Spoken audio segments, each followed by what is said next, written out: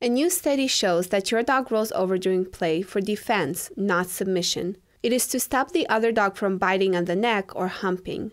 Other research shows that rolling over is a signal to begin playtime. Many large dogs will roll over to be at the same level as a smaller or younger dog. This study found that only 10% of dogs rolled over out of fear.